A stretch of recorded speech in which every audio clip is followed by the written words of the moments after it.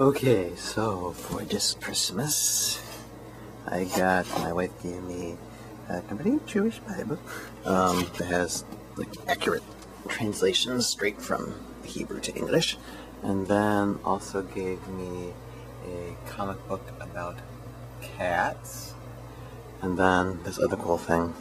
Here, can I show you? Ta-da! And it's upside down because it's through the mirror. Basically, it says write, shoot, edit, repeat. Let's see. Write, shoot, edit, repeat. Hoodie. Basically, a filmmaking hoodie. It is really, really cool. I'm wearing a hat because it's cold. But Christmas week, and I have some stuff on my computer to show you, so my week starts right now.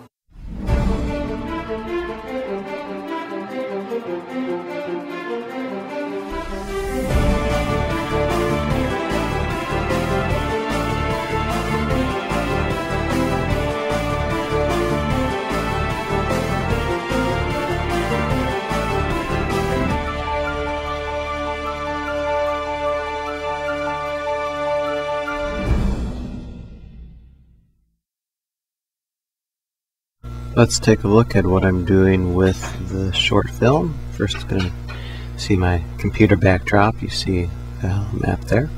We're going to pop up a little program called VirtualScape.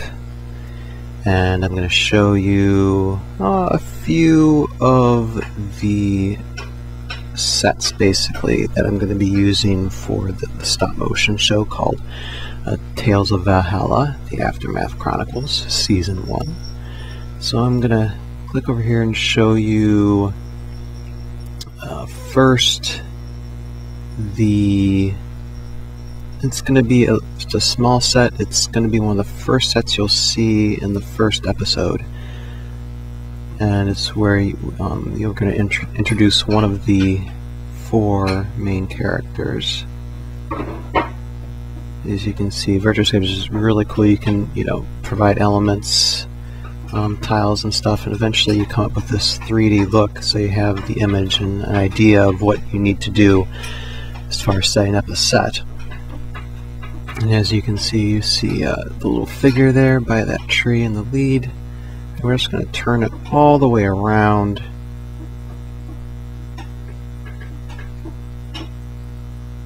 And show you what it's going to look like there. So the camera, this is basically where the camera will be positioned, and this is how it will look. Although it'll probably be zoomed in more on the figure. So you won't see anything to the side other than figure and trees. And so the figure will be landing there, will be moving off to the left of the screen. And that'll basically be the scene. So probably like the amount of time, screen time this little set will get is probably like maybe 20 to 30 seconds. If that, it might get condensed down to maybe 10 or 20 seconds. So that's how much screen time this little scene set will get. And but this is just this is one of the smallest sets. Let me go for a big one now. Let me show you.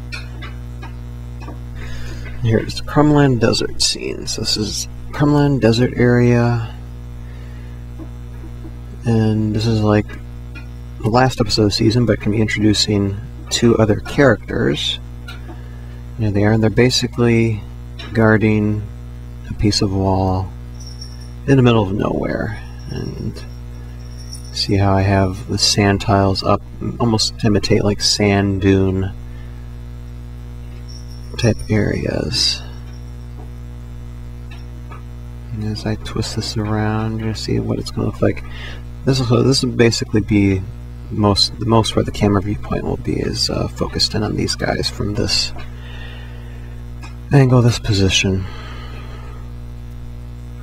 and as you see the 3D element provided here, and you see the wall spire up there, looking nice.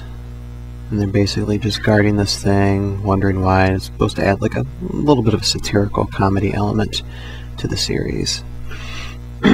These guys guarding this place and basically wondering why they're there.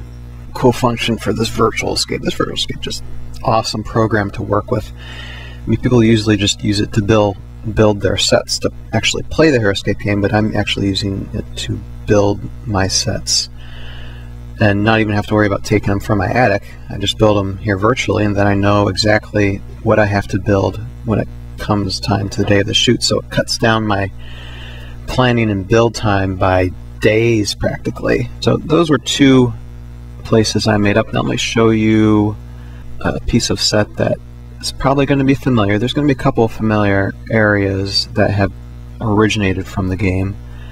Uh, Mygal's Tomb and Table of the Giants. And I'm going to show you Table of the Giants in a second. So basically what I did is I just built what was originally used uh, within the game and I basically added on to it. So as you see here is like the 2D map and I basically just built around what was the original set from the original game. So that way people will be able to recognize, oh yeah, that's Giants Table. I play that all the time. And as I turn this around, you see I added like a little bit of road, extra ruins, trees, a little, a little pond. Just give a little bit more interest uh, to the scene and provide a lot more space because there's going to be a lot actually happening in this area. As you see, with you can see the little Marro warriors uh, coming up on the four uh, protagonists of the show. And this also, uh, this whole VirtualScape also provides me a great leverage for my voice actors. So to give them a better idea of where their characters are, are residing, how they're moving, uh, what environment are they in, it's much better to show it than actually describe it. Uh, can't say enough about this VirtualScape. It's just an awesome program to work with, and I'm just so glad that I was able to. Thank you guys from the HeroScape chat group on Facebook that recommended me this page. It has saved me so much time moving on to other things, let me show you some some editing that I'm going to be doing stop motion, just for stop motion testing in a second. Into video editing a little bit. And pop up on the screen my iKITMovie 3.0 editing software.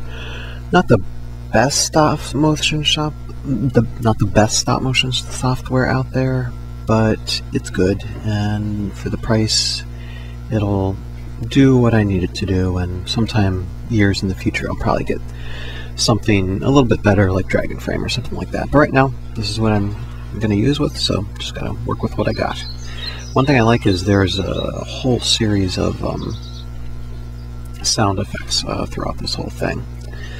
But as you can see, I'm testing out like the T3i photos that I took, and I took a picture of Nivok Saw, and just him walking out of the frame.